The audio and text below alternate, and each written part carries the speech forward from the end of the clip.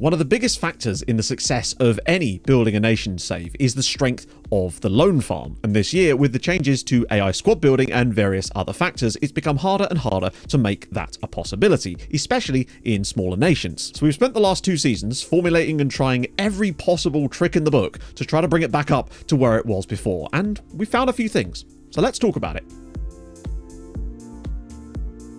We have a massive summer ahead of us and a budget to match, so we're going to be doing a little bit of Wonder Kid shopping over on stream. So join us over there after you've caught up over here, and believe me, there is a lot of stuff to catch you up on. The VODs of all the streams can be found on the second channel, linked in the description. They go out the day after every stream. You know the drill. And thank you for the support on the Premier League years video. I really do appreciate it. It's the reason why what you're about to see is actually a recap of season 7 and 8, because I simply didn't have time to make another recap video. However, we're going to be doing them both today. This should hopefully be be the last time this year that I have to do a double recap from going forward at least, but it's going to be a lot today, I suspect, especially when we get to the loan stuff that we're going to have to discuss later in the video. I might even have a bit of time now to finally clean up this absolutely gopping mic stand. I know that'll please some people. So let's take you back now to the start of season 7 of Building a Nation with Sirens over in Malta. Last year, we had just barely missed out on qualifying for the knockouts of the Europa League, and the aim for this year was a very simple one. Try to go one better and make that a reality, with a little help from our other multi Maltese friends, hopefully they could start pulling their weight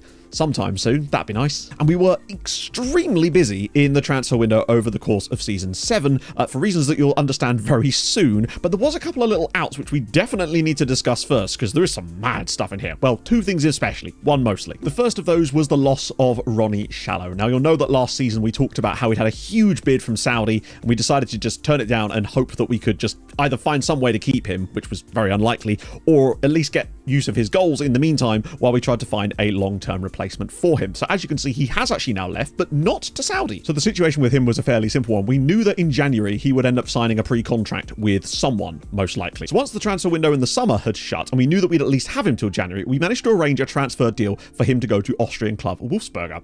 And well, I mean, we got 3.4 million pounds for him, which is actually, I think, our record sale at the time. So we were very happy with that, and rightly so, because he was definitely by far our best player, and it meant that we got to keep him at least for a few more months until the January transfer window before he would finally make his move over to Austria. Uh, you'll also note that despite him moving to Austria, he hasn't actually played a single match for them just yet. He's played more games for Israel since he left than he actually has for uh, his new club. Now, he has had an injury, but it's only relatively new there, so I don't know what's going on. Either way, we had a little bit of money to play with and needed to find replacements. But that isn't actually the big out I wanted to talk about. Because if you recall in the last video, I showed you Mohamed El Shazli after his return from his loan move uh, to Pyramids, and I said, hey, he's got this enormously large rating and value, as a lot of our players do. The issue is this, the clubs that can actually afford to buy players for that kind of money aren't interested in them because if you look at who those sort of clubs are, Saudi are really the only options, and even they seem to really don't really want them that much.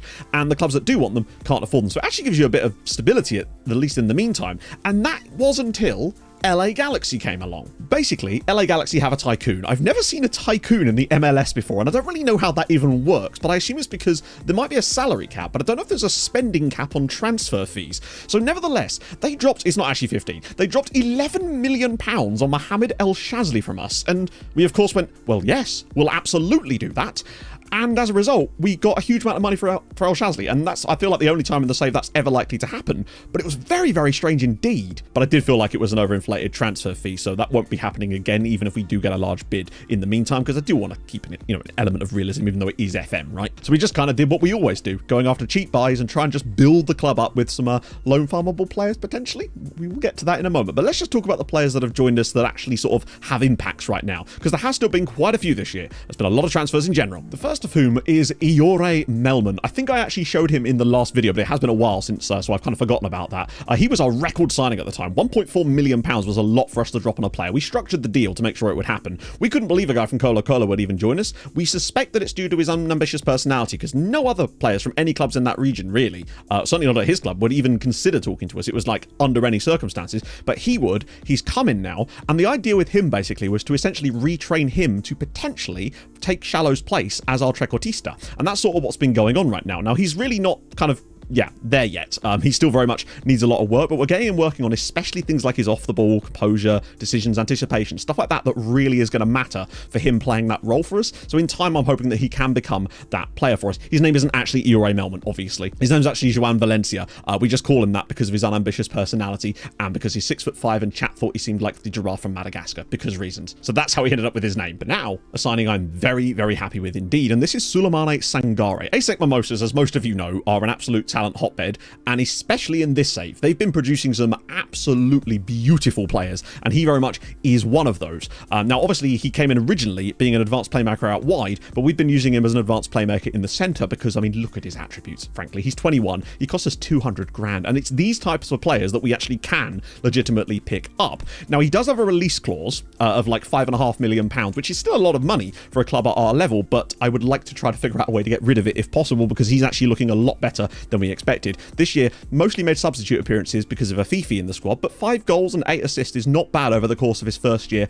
at the club. Very, very pleased with him indeed. I mean, just look at his hat. He's brilliant. And then also from the Ivory Coast, we have Sekou Fofana, who is a winger. Again, we found a couple of really high quality wingers, which would have worked really nicely in our old tactic, but now that we're playing a back five with wingbacks, doesn't really work so well because these guys, sure as shit, can't play that role. However, we're retraining him to play as a striker. If we can get that finishing up a little bit, I think there's a real quality in him. It's nice to have a left-footed player around the club too, because he's got speed, good player, £150,000. Can't really say no to him. And because he's 18, he will be a homegrown player for us in various European competitions. We also dropped £250,000 on Tony Sunday from Kano Pillars. And again, these are the types of signings that we can make. We don't have to drop huge amounts of money on them, but they're generally speaking bargains, frankly. And he's been operating in that sort of defensive midfield halfback role for us uh, over the course of this year. And in fact, has made 34 appearances. Now, because he's playing as a halfback, which means he doesn't get forward and attacks, he's not tallest, so he doesn't go up for set pieces. The game tends to punish, I've noticed, uh, defensive midfielders because they don't score goals, they don't get assists, they don't make key passes. They're just there making interceptions and doing all kinds of lovely stuff.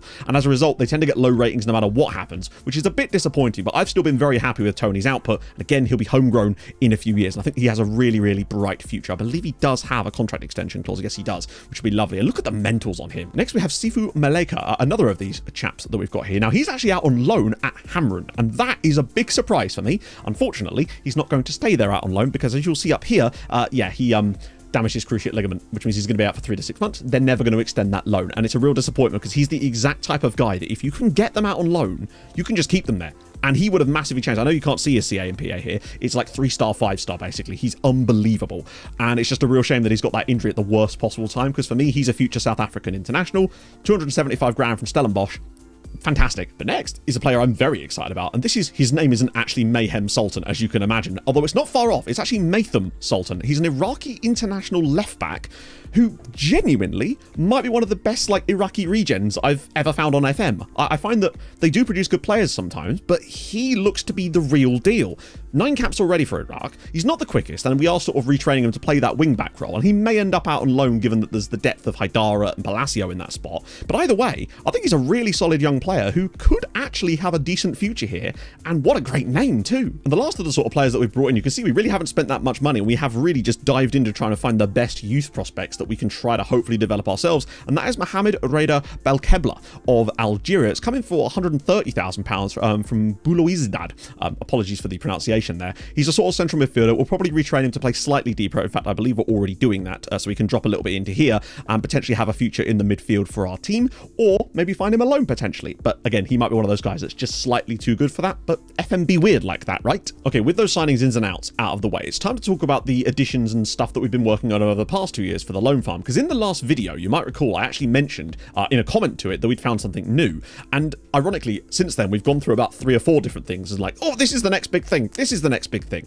And what we've ended up with over this two year, two season period is essentially just a toolkit of extra things you can try to hopefully improve your loan farm slightly. Now, again, results may vary depending on the league you're managing in, semi the professional status of the clubs, and various other factors. But I just wanted to give you everything we've got so far that maybe one of the things might work for you potentially to try to bridge that gap because it does seem that this year, especially, the gap between you and the teams you're loaning to in terms of the qualities of the players matters massively. And that quite simply, clubs will not bid on your players for loan because they simply do not think that that player is ever going to be willing to join them on loan, even if the player might actually consider it.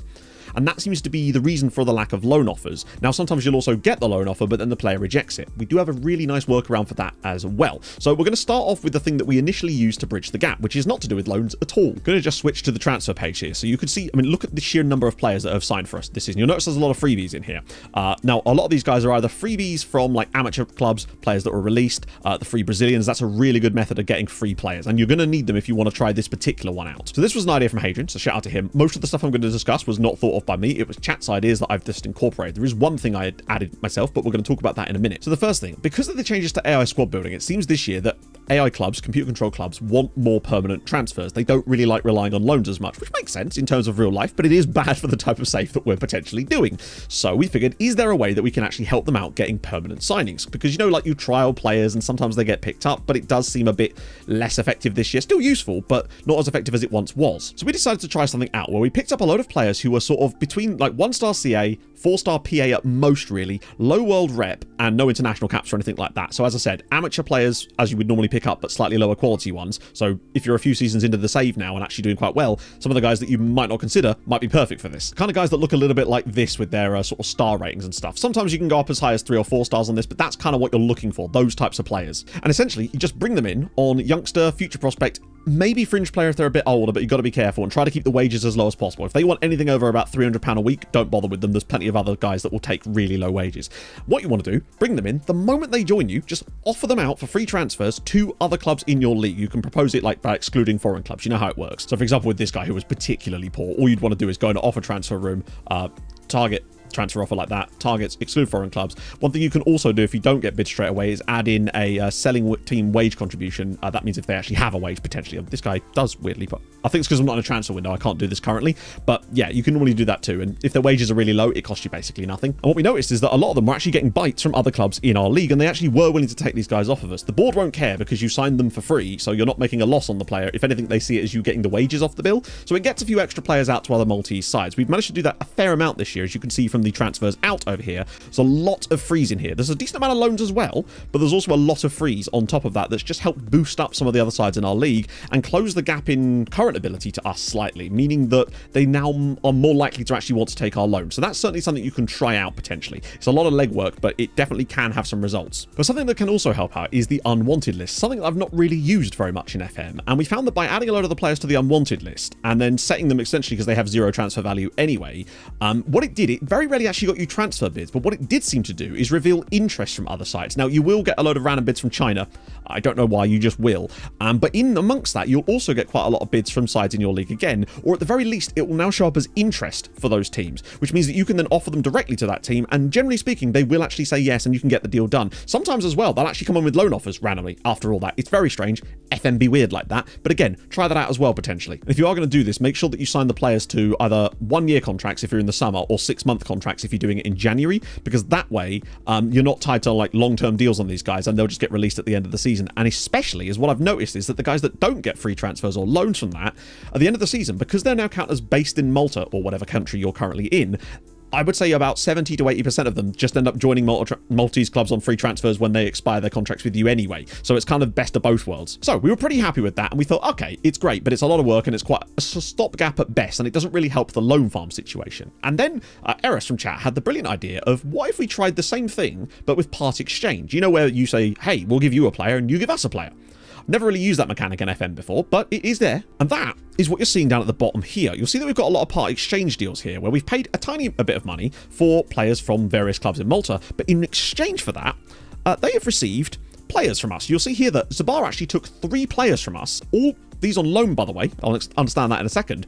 As a result of this part exchange deal for Brandon Farrugia, they got Abba Alfred, Haji Traore, uh, Traore, and Mario Madrid, all players that we couldn't seem to find loans for. All of a sudden, were just wanted for loan. Very strange. Now, initially when we first did this, it was deadline day in January, and we got so many successful ones out with this, as you'll see from pretty much all of this stuff here. We went, oh Christ, is this just utterly broken? I can assure you it is not. It worked really well one time on the deadline day in January this year, and since then it's been much more hit and miss, uh, as you're about to see. But needless to say, it's certainly worth trying. I'll show you how you do it. And the best use of it seems to be, from our experience so far, that if you've got a player who a club is interested in, but they haven't bid on, or they have bid and the players rejected the loan, this seems to be a great way to get that loan to actually happen. So I'm just going to choose Balzan Youth as a random example here. We're going to go into their under 19 squad, because this is where you do it. Basically, you just click on one of their players, Doesn't have to be anyone good. In fact, it's better if it's not. Go to make offer. Have a look over here. If it says they have a lot of potential, don't bother. They won't sell them to you for this type of deal. It's really strange. Just keep scrolling down on the top here until you find one that says don't consider them to have a long-term future. Then suggest terms. Want that sort of stuff. It doesn't really matter because it's minimal money at the level we're at at this stage. But then what you want to do is go into here and go players to exchange. Now, sometimes the club will literally be interested in a couple of players that you already have, and therefore they'll get a second pop-up here that will guarantee you that they want those players. So all you do is go into the thing, it'll say like your assistant suggests, add those players in. Now, they don't have that in this scenario, but what you can do is go to your loan listed players and just dump in a few guys that you fancy um, to loan out, basically. So just a couple of guys here. You can have up to five here, but we've only ever seen it work with three. But in here, you can actually do loans as part of the part exchange. And, oh, that's weird. But obviously, we're not in a loan window right now, which is the reason why it's deleting it when I tried to add it. But if you're in a transfer window, it should work fine. And that's all we did, basically. Now, if I try to do this, most likely this is going to go red. Oh, we didn't. See what I mean? My point is, sometimes they will just randomly go, you know what, yeah, we'll have those guys from you. Now, they'll have probably accepted him on loan as well, except obviously we're not in a loan window. So were we in the summer, they'd have probably actually gone for that. But it does seem to be quite random which ones they will and won't accept unless there's explicit interest in that player. But if there is explicit interest, they will almost always take the player and the player always seems to agree. So it's just a nice way of getting a couple of extra loans out using part exchange. It will cost you, sometimes they will do it for free. Sometimes it will cost you 10 grand here, 20 grand there. But when you're at the level we're at, that's chump change generally speaking. What I will say is if you try to do this at a much higher level, if you're like say a top 15 nation in the world, uh, they will ask for exorbitant, uh, exorbitant money. Um, Inferno from chat, they wanted 48 million pounds to take three loans. So again, this is more of a stopgap but it does work. It's just another thing to have in your toolkit. And the last thing I wanted to talk about is something that we tried on the last stream. Now, I haven't seen this work personally for me just yet, but I have been assured that it can do in the right circumstances, and that is hiring an intermediary and then cancelling it immediately. So if I just use this chap here as an example, although I don't know if this is actually, oh, it would work actually. Obviously, his contract expires in like a month, so it won't really work as well for him. But if you're in a transfer window, go to hire intermediary, click it, and then click cancel.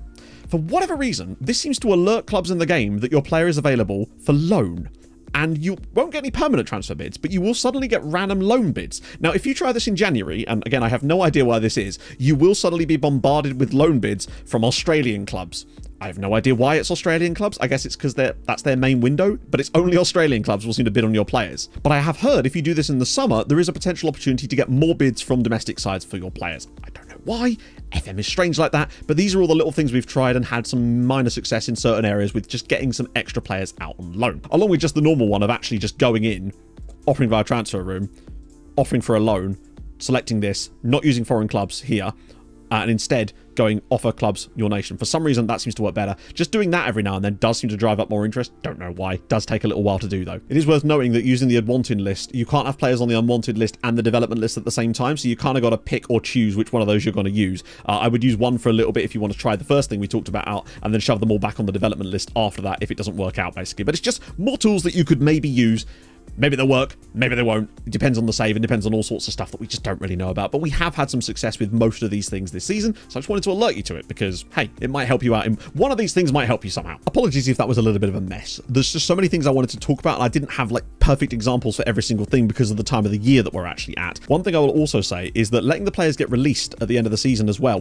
that's why the short contracts are useful. They do seem to get picked up quite a lot. Uh, we did a little test actually a little bit further into the future here where I put them all on a short list after I released them, including guys that been on loan this year just as a test, and I believe close to 80% of them found other clubs in Malta. So definitely something to look into. But that's enough of that. Let's talk about how we actually got on in the league this season. Uh, it was a little bit of an unbeaten season. Little cheeky little unbeaten season in there. Uh, won the league by 12 points in the end. This was with the new tactic. The first time we played the full season with the brand new five at the back approach to things. And apart from a little tweaks in there, it was very, very solid. I mean, the one thing I'll say about it is we don't score as many goals as we were, were before. We scored 90 last season. This year it dropped down to 78, but you'll note the 8 conceded that definitely made a difference. Uh, we've become much, much more stable at the back. You can see that the gap between Hamrun and everybody else is still massive. They were 12 points behind us, but they were 14 clear of third place Gudja, and then obviously massively clear of uh, fourth place Hibernians. So, yeah, uh, and that was a very close battle for the final European places there. Unfortunately, Marsa going down with, well, negative, negative 50 goal difference and not winning a single game all season. Not ideal from them, really. In the second tier, Swieqi and Mosta were both promoted. Uh, Swieqi with an absolute runaway victory in there too. You'll also note that Floriana, who were relegated last year, who I just assumed would come straight back up, uh, they weren't even really close. They were five points from it in the end, but at one point they were down in like 10th in the league at the midway stage. They are very, very strange team. Vida Xenia and Palacio. Basically, the wingbacks are absolutely crucial. If you can get good wingbacks with good agility and balance, especially, and decent passing, uh, they can make a massive difference to this sort of setup, and it's been fabulous for us. But we'll talk more about why it works so well a bit later in the video, because it kind of works on two levels. In fact, screw it, I'll talk about it now.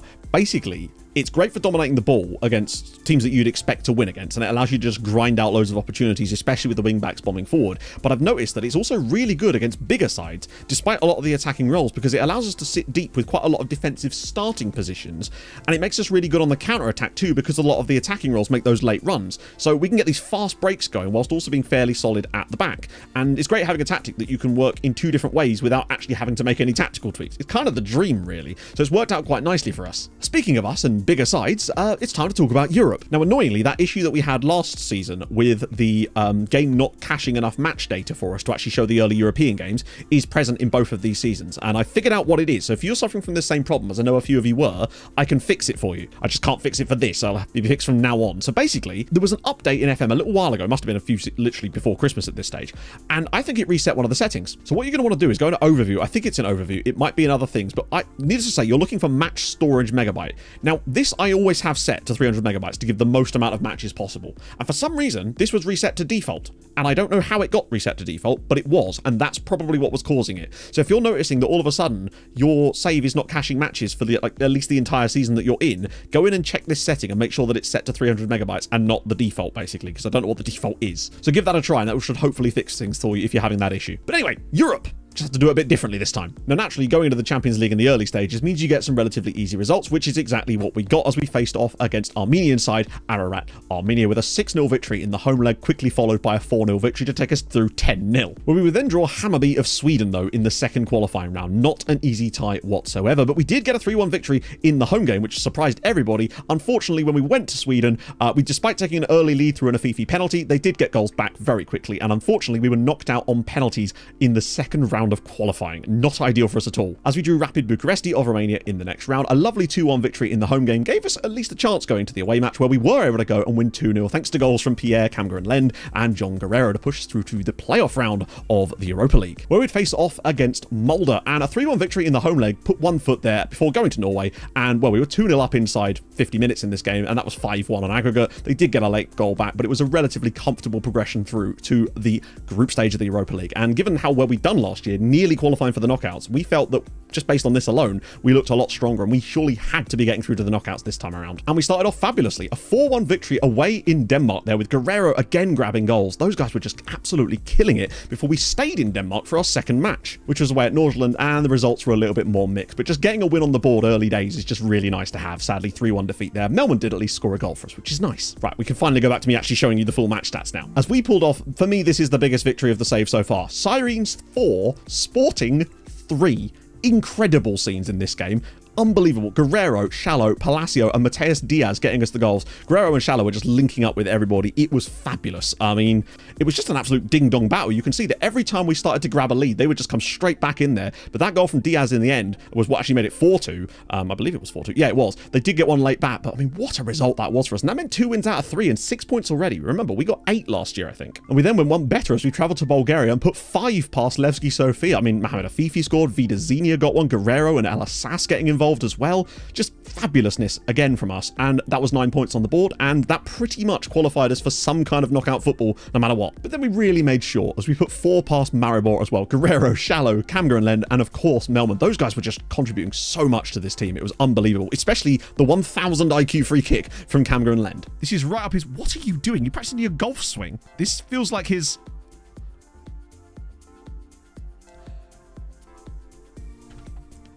Uh, Liquid Football Part 7? Uh, uh, it's 3-1. Just wasn't the way I thought that was going to go. Then we played Aston Villa, lost two goals to one. Not really a huge surprise when you look at the goal scorers in this game, but actually, you know, we gave them an okay go of it, surprisingly. Then we travelled to Turkey and a relatively poor performance saw us lose 1 0 to Galatasaray, but we were already through to the next round at this point. We knew that we just needed maybe one point to get top 16, and we did, in fact, get that point at home against Trabzonspor. It was annoying as we were actually winning until the 94th minute here. Now, we'd beaten Trabzonspor 6 2 in Turkey a couple of seasons ago, figured we'd get the win here, but sadly, it wasn't to be. Uh, it did cost us some coefficient points, but you can see that's a lot of wins for us in the Europa League, and ended up with us coming 14th on the board. Four wins, three losses, and a draw for 13 points, and it's so close to being 15 points. If we'd have just got that result over the line against Trabzonspor in the end, we could have been right on the outskirts of the top eight, which really does show you how much we've come along this season. There was a few games where perhaps we were a little bit lucky though, so it kind of balances out, I would say. Finishing above the likes of Ajax in there, Villarreal, like that was some good performances from us and really starting to show a lot more in Europe. And that, of course, earned us a draw against one of the weaker sides, and that team was 22nd place Sturm Graz. And we thought, you know what, that's doable.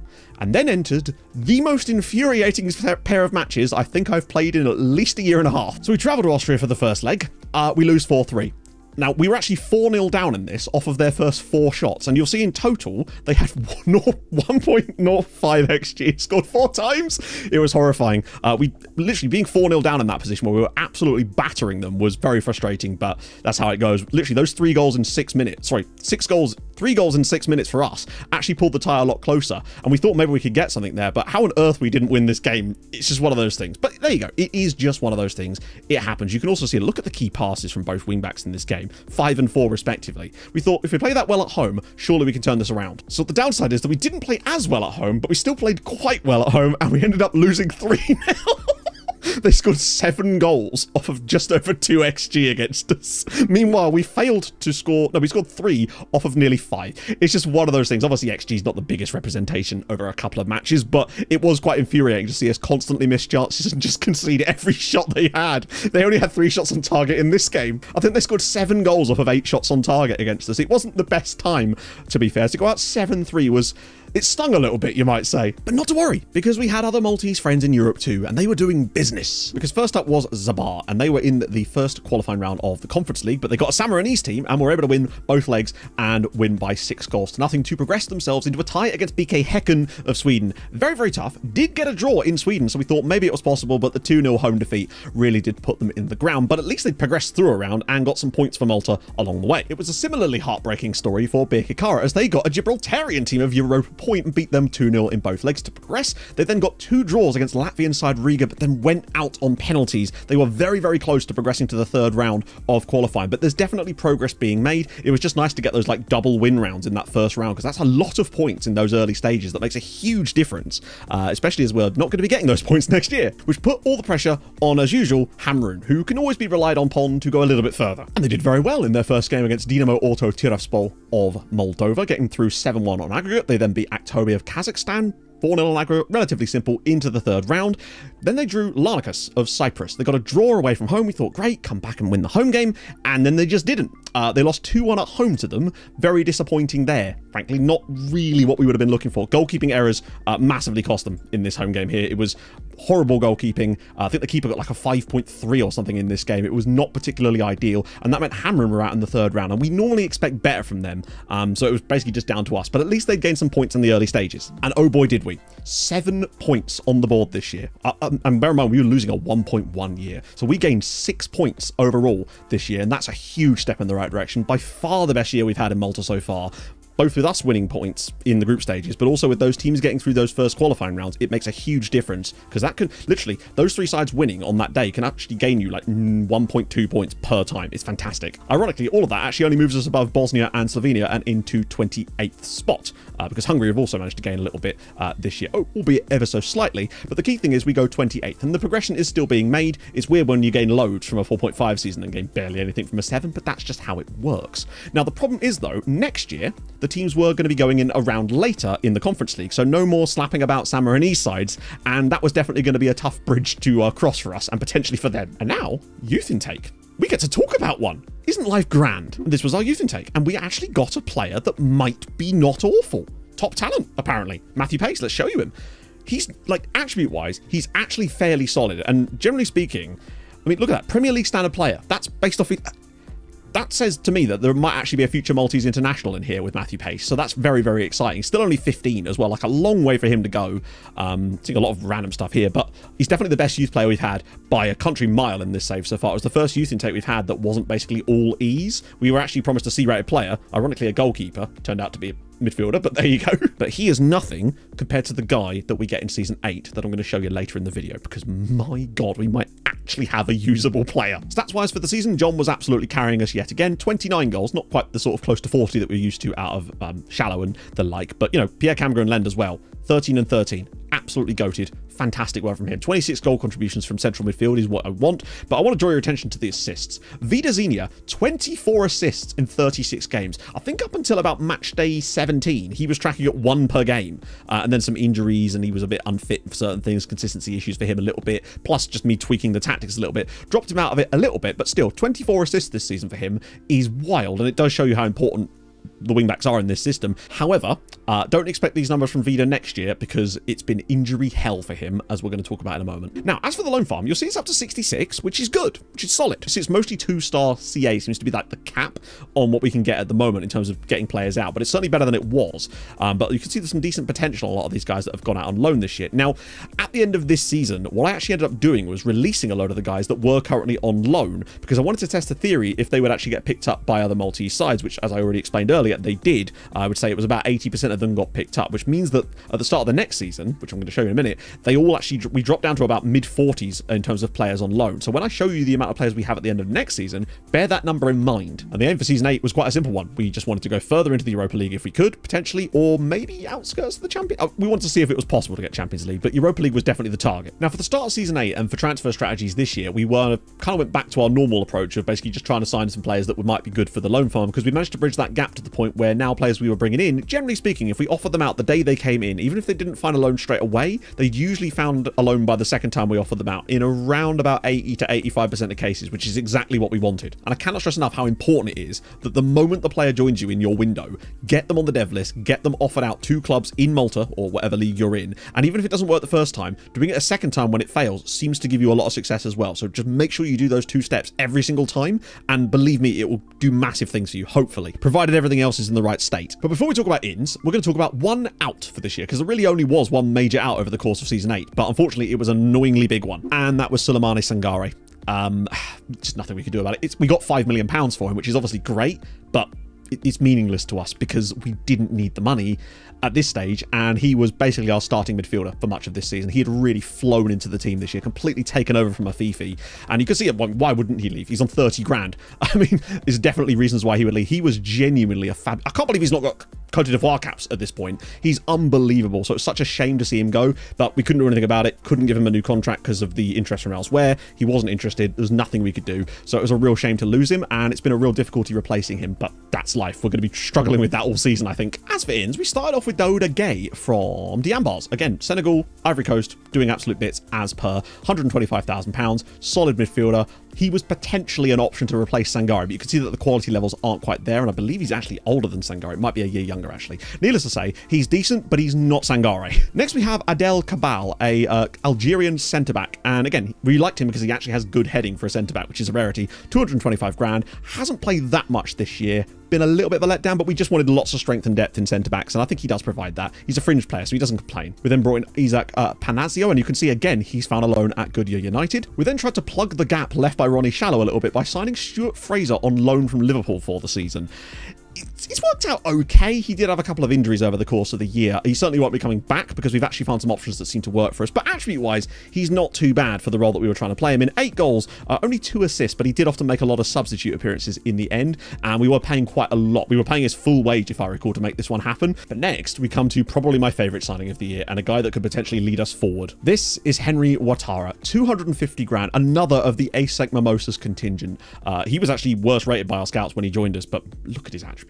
He's fast, he can finish, he's composed, he takes great first touches, he's got great flair as well, actually. Um, he's just a fabulous striker. 27 goals for us this year at 19. I believe he will have counted as homegrown as well, if I remember correctly. Either way, for 250k, he has been sensational. And it's these types of signings, again, that have really carried us. So if we could just find a guy like him, but that's like a attacking midfielder that can maybe do a bit of passing too. That would be lovely. We also picked up Branko Tanic from Partizan, who I was very surprised would actually discuss terms with us, but he would. And again, didn't want a huge amount of money. It seems like occasionally players just do that. Now, the aim for him actually was to bring him in and retrain him to be the Trequartista in this type of system because we really liked his attributes. But then Floriana in the second tier said, how about a loan? And we said, Absolutely, lads, because getting a guy of two-star CA quality on loan to a second-tier side was absolutely fabulous for us, and he's had a relatively good year there. Seven goals and seven assists in the second tier for Floriana, and they've had a very good season, so that's just nice to see him developing, and he could be one of the guys that maybe will just stay out on loan forever and could be a genuine worldie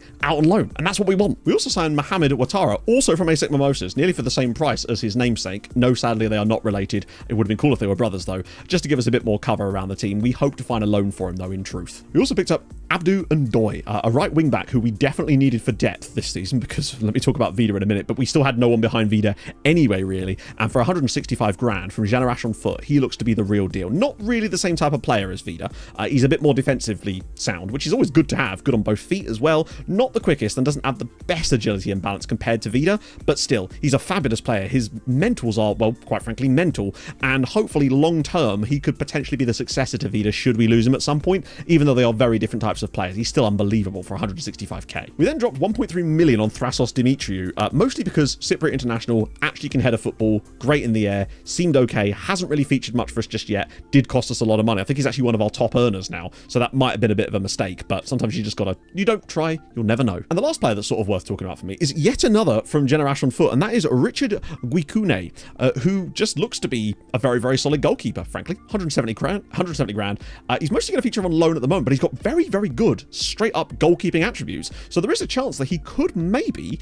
get in the team ahead of Bernd over the coming season if he continues to develop at the rate that he might well be already. So we might have actually got our future goalkeeper in there too. But again, I'd like to find him alone if possible. Already has a cap for Senegal too. So how did all that translate to the league? Well, uh, pretty straightforward really. We did actually lose a game this year, but you can see from the goal difference that we are starting to score a few more goals. And you'll also note that the gap to us and Hamrun has definitely stretched. Now, weirdly, they were like neck and neck. And I think at one point, with only like maybe eight or nine games to go, they were only four points behind us. And then they just absolutely collapsed for some reason. They just massively collapsed and the gap just got enormous over the second half of the season. And in the end, they actually only finished four points clear of Zabbar and then obviously a little bit further clear of Luta. But you can see now that especially with some of the loans that these guys have been taking and some of their own personal transfers, frankly, they have really started to make it look a lot better. The goal differences alone should be the indicator that they are starting to improve relative to the rest of the league. Plus 23 and plus 15. It's quite a stark contrast from a few years ago where we were having teams qualify for Europe with like plus one or negative goal differences, so to speak. So they're definitely getting better, and I think we're going to have a really strong contingent in Europe going into season 9. And one of our loanees you'll see here, Abba Alfred, with 19 goals, top scorer in the league for Zabbar, and that's just what you love to see. And also, uh, top scorer, also on loan from us, Ted Van Aken. These are the sort of guys that we've been picking up and just giving them on loan. Fantastic news. Also, shout out to Otto Uilaki, who's had to fill in for Vida for most of the season this year, ends up winning Player of the Year, uh, which is awesome for him. In the second tier, Floriana do finally make a comeback to the top flight, just two defeats all season, and obviously Tanic on loan there really was part of that revival for them, really. Uh, only won the league by a point in the end with Tarxien, but it definitely was the sort of season I'd expected out of them last year, ironically, but they finally got it this year. But now on to Europe, and again, unfortunately, missing those early games because of the match data thingy. That will be fixed for next time. We're going to have to do it a little bit different again. But the hope was, again, if we can get into the Europa League groups, see what we can do. Maybe there's the outside shot of Champions League as well, but it's generally speaking still a little bit unlikely for us. But in our first round, we drew against Celje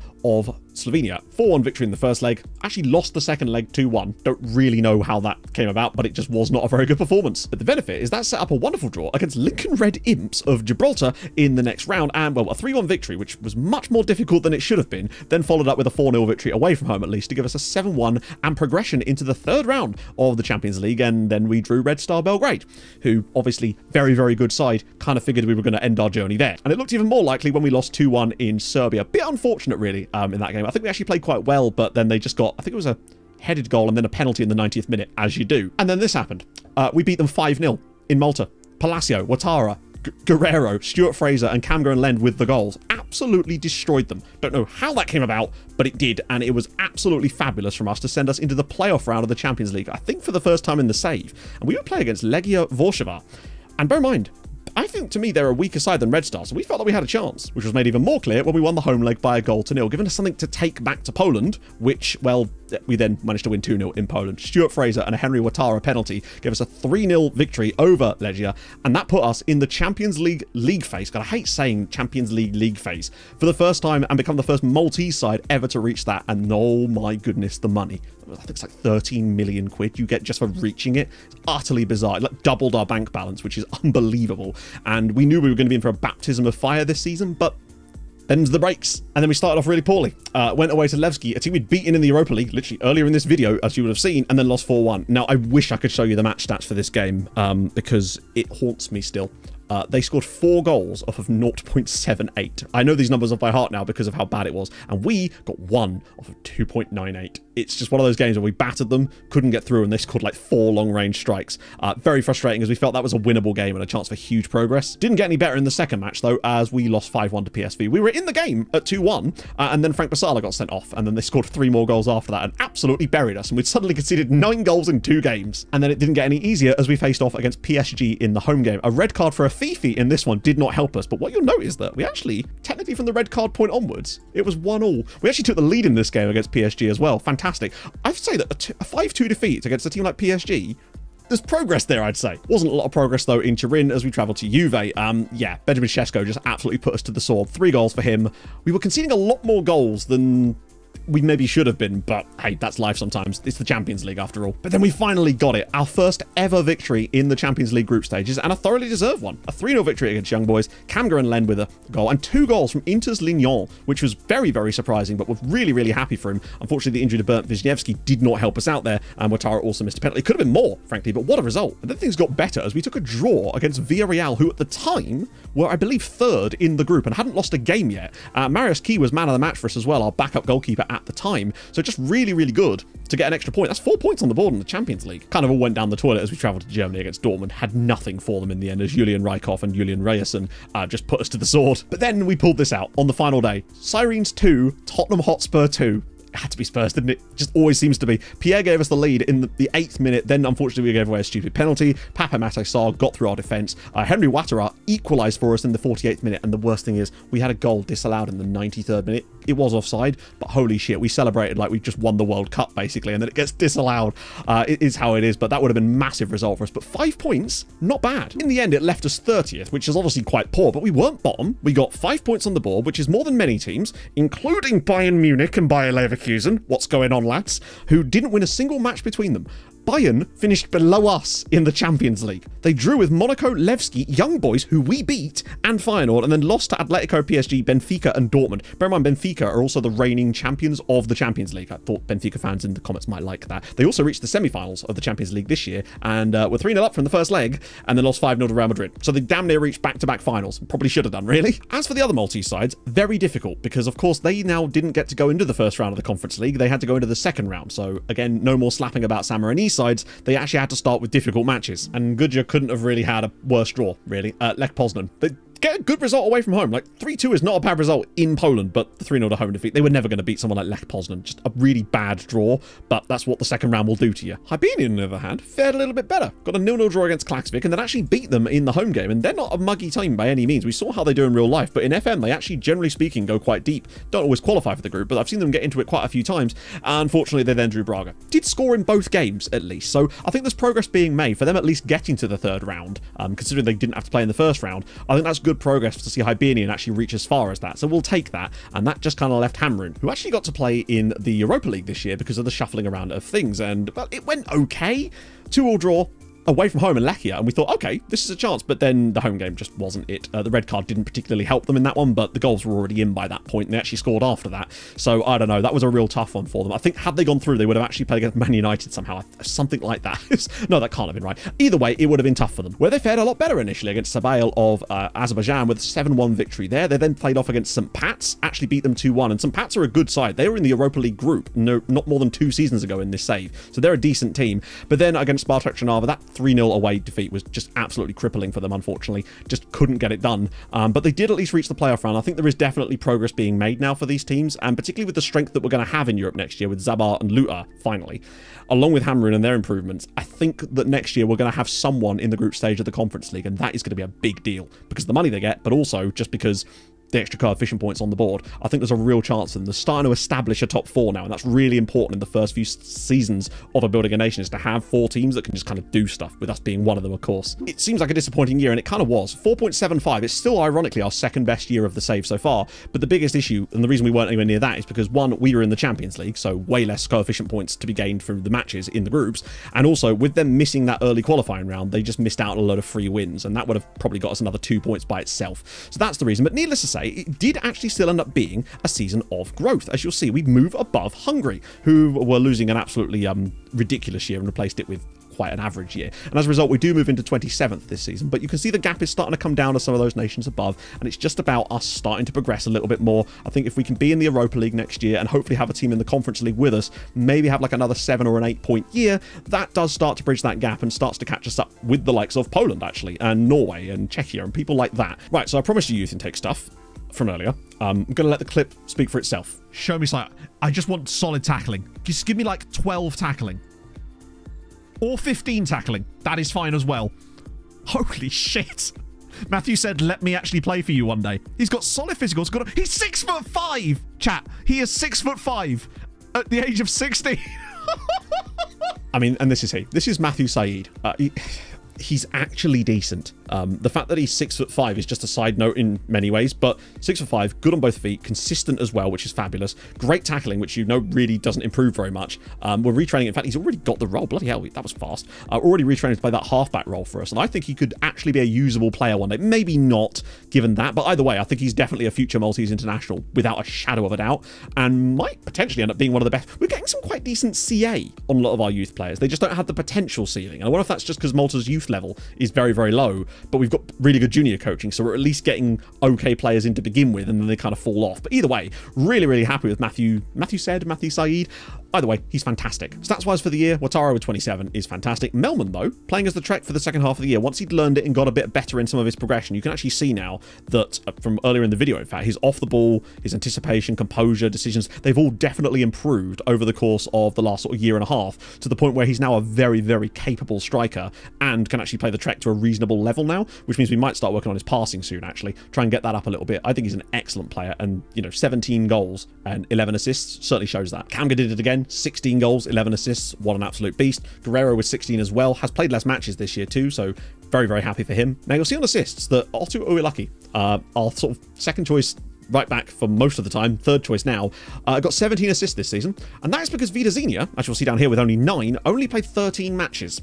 So basically, a couple of games into the qualifiers, he broke his ankle was out for four months with that. So he came back in like December, tried to wean him back into football with like 25 minutes or something in an under 23 game, tore his ankle ligaments in that game, was out for another four months, didn't return until mid April, and then played a couple of matches and is now out with a sprained ankle for six to seven weeks. He basically has got an ankle that's barely attached to his leg over the course of this season. Doesn't even have injury proneness. That's the weirdest thing about him. And as a result, has missed almost the entire season. Still managed nine assists in his 13 appearances. So if he'd played the whole year, he would have been amazing. But that's just life. Um, nice to see like Palacio contribute nine assists this year. Haidara with six. Still lots of assists coming through.